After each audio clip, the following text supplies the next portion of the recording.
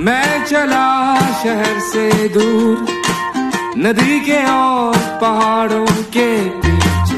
सबसे दूर अकेले रहना तेरी याद मुझे